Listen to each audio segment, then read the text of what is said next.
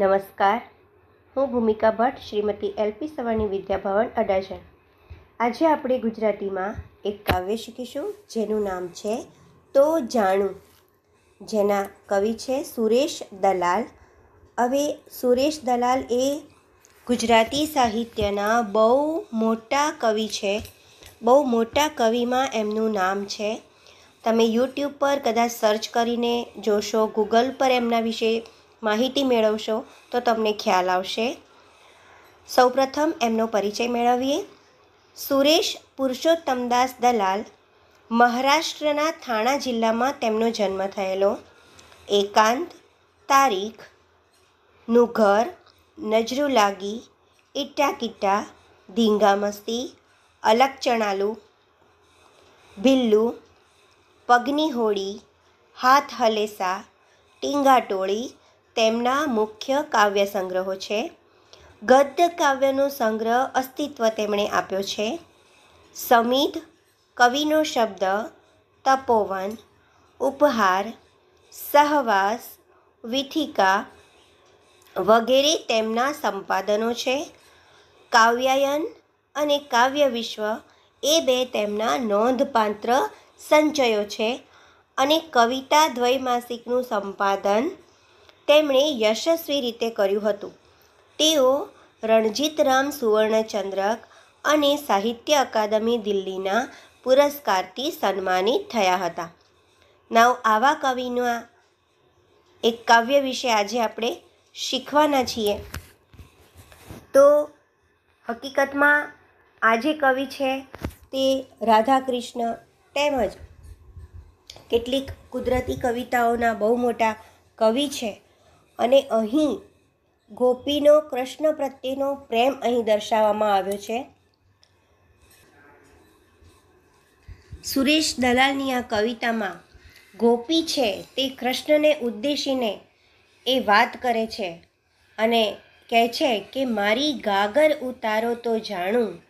ગાગર એટલે પહેલાં એ લોકો માટલામાં પાણી ભરવા જતા, તળાવ અથવા તો નદી કિનારે.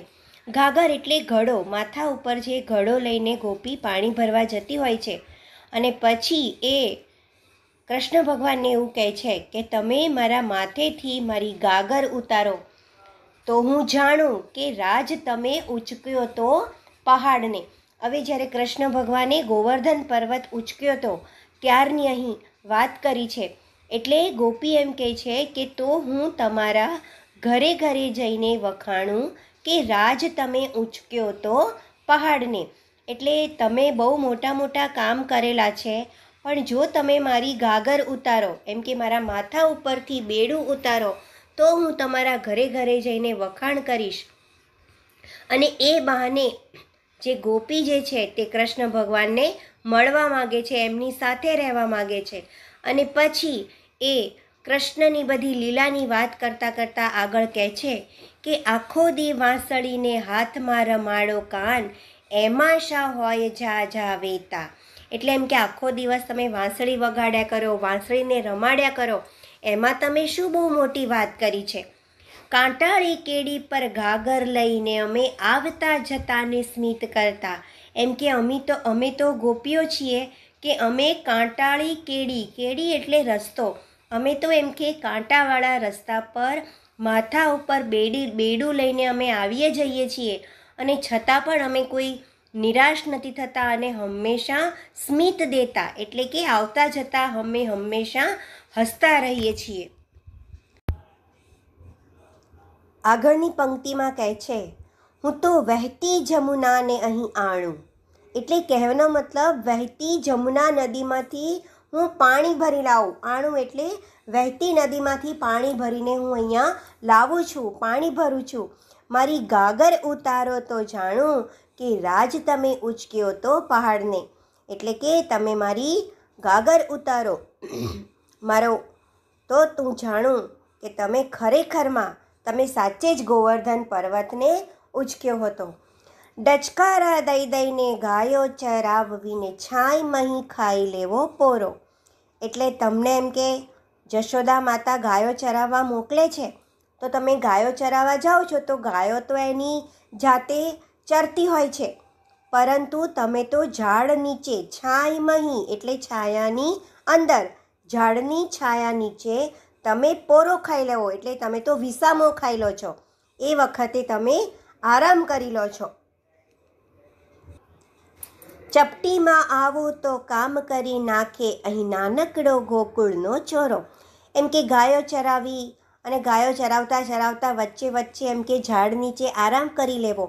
તો આવું કામ તો ગોકુળનો કોઈ પણ નાનો છોકરો ચપટી વગાડતા કરી લે. એટલે કે તમારા માટે તો આ કામ ખૂબ સરળ છે એવું ગોપી શ્રી કૃષ્ણને કહે છે. ફરી ફરી નહીં આવે ટાણું. મારી ગાગર ઉતારો તો જાણું. કે રાજ તમે ઊંચક્યો તો પહાડને. એટલે એમ કે ફરી ફરી આવો ટાણું, એટલે આવો સમય, આવો અવસર, ફરીવાર નહીં આવે. એટલે આજે હું તમને વિનંતી કરું છું કે મારી ગાગર ઉતારો તો જાણું. એમ કે તમે મારી ગાગર ઉતારો તો જ હું જાણીશ કે ખરેખર તમે ગોવર્ધન પર્વત ઉચક્યો તો. અને તો જ હું તમારા ઘરે ઘરે જઈને હું તમારા વખાણ કરીશ કે તમે ખરેખર જ ગોવર્ધન પર્વતને ઉચક્યો હતો. આમ, કૃષ્ણ પ્રેમને વ્યક્ત કરતી આ એક સુંદર રચના છે. ગોપી કૃષ્ણને પડકાર આપતા કહે છે કે, તમે મારી ગાગર ઉતારો, તો હું માનું કે તમે પહાડને, એટલે કે ગોવર ગોવર્ધન પર્વતને ઉચક્યો હતો. હવે આ પ્રસંગની તો તમને સૌને ખબર જ છે અને સાથે સાથે કૃષ્ણ ભગવાન કેવી કૃષ્ણ લીલા કરતા. લોકોના ઘરે જઈને માખણ ચોરીને ખાઈ લેતા, સાથે સાથે ગોપીઓના વસ્ત્રો ચોરી લેતા, વાંસળી વગાડતા. આવી તો કૃષ્ણની ઘણી બધી વાતો છે. પણ, અને એટલા માટે જ જે ગોપીઓ છે, એને શ્રી કૃષ્ણ માટે ખૂબ પ્રેમ છે. અને એટલા માટે હંમેશા એ કૃષ્ણને મળવા માટે ઝંખતી હોય છે. અને એટલે તે આ કાવ્યમાં એ કહેવા માગે છે કૃષ્ણ ભગવાનને. કારણ કે એ કૃષ્ણ ભગવાનની સાથે રહેવા માગે છે, એની સમીપ રહેવા માગે છે. અને એટલા માટે એ કૃષ્ણ ગેલી ગોપી જે છે, એ ગાગર ઉતારવાને બહાને એને આવા બધા બહાનાની વાત કરે છે કે તમે એમ કે આખો દિવસ વાંસળી વગાડ્યા કરો. એમાં શા હોય ઝાઝા વેતા. ઝાઝા વેતા એટલે વધારે પડતું ડાહપણ અથવા તો એમાં શું ભલીવાર? બરાબર? આખો દિવસ વાંસળી વગાડ્યા કરવી એ તો કંઈ બહુ મોટી વાત નથી. એટલે એમ કે, અને અમે તો કાંટાળી કેડી પર જઈને પાણી ભરવા જઈએ છીએ અને છતાં આવું અઘરું કામ કરવા છતાં અમે હંમેશા હસતા રહેતા હોઈએ છીએ.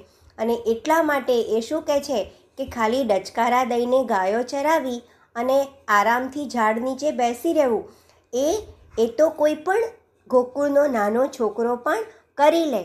તો આટલી સરસ વાત, આટલી સુંદર રચનામાં આપણને સમજવા મળે છે અને આના ઉપરથી આપણને ગોપી અને કૃષ્ણ વચ્ચેના પ્રેમનું પ્રતીક જે છે એ આપણને અહીં જોવા મળે છે. અને એટલા માટે એ હંમેશા વારે વારે એણે ગોવર્ધન પર્વત ઉચક્યો તો એની વાત કર્યા કરે છે. અને એ એવું કહેવા માગે છે કે તો જ હું, જો તમે મારી ગાગર ઉતારશો, તો જ હું તમારા વખાણ કરીશ. અને આમ, આ રીતે એ ગોપી કહે છે કે આવો અવસર ફરી ફરી આવતો નથી, આવો સમય ફરી ફર આવતો નથી. વાંસળી, જમુનાજી, ગાયો અને જેવા સંદર્ભોથી કવિએ આ ગીત રચનામાં ગોકુળનું અને પ્રેમનું ખૂબ સુંદર વાતાવરણ રચ્યું છે.